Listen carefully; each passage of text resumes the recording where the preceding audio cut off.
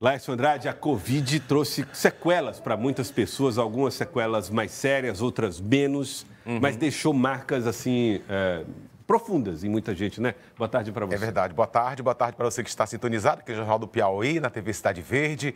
Bem, vamos falar em toda a história do seu Luiz de França. Mas antes, um parêntese, por que, que tá. eu estou com um copo descartável aqui nas minhas mãos? Por quê, Léo? É um recadinho da doutora Marilis Borba que eu vou dizer já já e é muito importante para todos nós. O que é que pode acontecer com um simples copo descartável se não for descartável da maneira certa? Atenção, hein? Daqui a pouco o alerta de Laércio Andrade, hum. que está aí com um copo descartável como lembrete de alerta é. para você. A Marilis Borba que manda esse recado para a gente, tá bom? Pô, já já eu digo. Olha, vamos então ver a história do seu Luiz de França. Ele que teve trombose por conta de complicações da Covid e era, trabalhava como cobrador de ônibus, mas sem a perna teve que sair do emprego, parará, parará, conseguiu a rescisão de, lá do contrato e ele comprou a prótese porque não podia mais esperar através do CI, que custava não sei quantos anos para receber essa prótese, e ele comprou tudo. Mas só que agora a prótese quebrou, a meia de silicone rasgou, ele está sem dinheiro, não está na fila e ele pede a nossa ajuda para melhorar a qualidade de vida dele. Preste atenção, que é uma pessoa que trabalhou a vida toda como cobrador de ônibus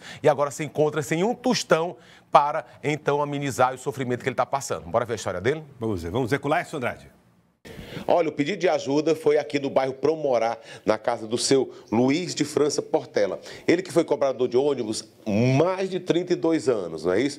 Aí teve Covid e com essa Covid ele perdeu aí parte de uma das pernas.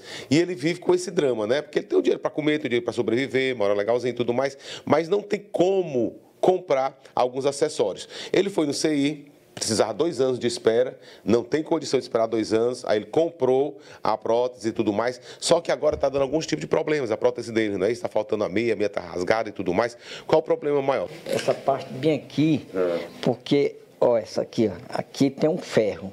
Sei.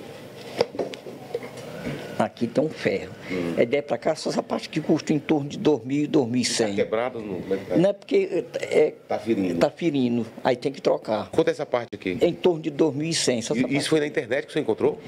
Isso. É mais barato? Mais barato. 2.100. Isso. E, esse, e a meia aqui é onde está bem aqui. Eu tive, eu tive que colocar esse para não poder machucar muito. Para não machucar, né? Olha, ela está furada, ó. Ah, não está tendo a proteção. Quanto é que custa uma meia dessa? 3.780. 3 mil. Olha aí para não machucar o seu joelho, que eu estou vendo que está vermelho, está machucando. Exatamente, né? machucando. Uhum. Aí, se eu não colocar esse pouco, eu não aguento nem, da, nem caminhar dormento. E, e quanto é mais ou menos todo o orçamento tá geral? De 6 mil, 6.200.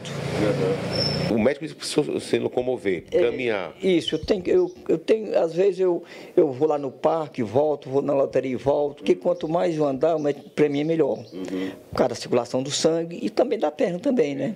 Mas pelo jeito, qualquer hora você pode parar, né? Porque está tudo quebrado. Isso, tá, tá... isso aqui, sim, isso aqui não vou para lugar nenhum. Como é que eu vou me locomover? Uhum. E aí, para isso, eu preciso da ajuda da população, dos, dos amigos que puderem me ajudar, eu fico muito grato. É. E qualquer ajuda é interessante. Depois do Pix, que inventaram o Pix, tá bom? É, todo mundo pode doar 5 reais, 10 reais, então, seus colegas, cobrador de ônibus, motoristas, vizinhos, você que se sensibiliza com a história dele, não é, é isso? Toda ajuda é bem-vinda, não é isso? É, eu quero pedir aqui aos nossos amigos teresinenses, os piauienses que me conhecem, que eu trabalhei mais de 32 anos na empresa, que puder me ajudar, ficarei muito grato. Obrigado, tá bom? Obrigado. Valeu, então, obrigado. vamos ajudar aqui o seu Luiz de França Portela, que mais de duas décadas trabalhou e agora se sente possibilitado né, de comprar essa meia, a parte da prótese, para ele poder se, comover, se locomover melhor. Você vê a comunidade junto com a gente. Impressionante, né? A gente não tem nem ideia né, de quanto que custa esses equipamentos né, de prótese, uhum. órteses, enfim. É, no caso dele, 3 mil reais só a meia. Só a meia, mais dois o pedaço da prótese. E eu gostaria, então, eu fui atrás do CI, eu fui atrás da, da, das certo. pessoas para tentar conseguir a prótese, mas infelizmente, se não for pela ajuda, nossa, nossa ajuda, telespectador, ele não vai conseguir tão cedo, né? Porque tem que ser através do SUS, é uma fila muito grande e até lá ele está passando por esse sofrimento muito grande, tá bom? Eu gostaria que as pessoas se sensibilizassem, as mesmas pessoas que se sensibilizaram com a história da Sueli Oliveira de Deus. Sueli, é. aquele abraço, você que é lá do Disseu, ela que tinha problema de CA, precisava de dois mil e pouco sim, tratamento. Lembro. Ela arrecadou, sabe quanto? Que eu encontrei um conhecido dela? 17 mil reais. Olha aí. 17 mil reais. Conseguiu bem além do Bem além do tratamento que ela está fazendo, tá bom? Então, eu gostaria que vocês doassem. O Pix dele tá aí no rodapé do seu vídeo, é o CPF, em nome de seu Luiz de França é, Portela, né? E é o CPF, que é o 479 150 21320. Tá bom? Tá no rodapé do seu vídeo. Qualquer coisa em com o meu WhatsApp, tanto para saber qual é o CPF dele, qualquer um outro problema que tenha, CB Comunidade vai até você, tá bom? E atenção, Laércio. Vamos pro alerta. O alerta. Mostra o copo. Tá aqui, Copo copo, descartável. Ontem encontrei a doutora Marilis Borba, nossa, adoro aquela senhora. E ela disse assim, Laércio, sabe o que, é que tem que fazer com o copo quando você usa? Você tem que Triturar. destruir, destruir, para não ser reutilizado por outra pessoa, não ser contaminado, Primeiro não é isso? né? Por conta do volume, Claro. para no esgoto, para no lixo, por conta do volume, não é isso? E também para evitar que a água fique aqui dentro e, e, e, e crie dengue, mosquito e dengue. Então, toda vez que você usar qualquer copo descartável, tanto de cafezinho como de água, tem que deixar ele assim antes de descartar. Inservível. É uma notícia muito É boba, verdade. assim, muito simples, mas que salva vidas, né? Verdade.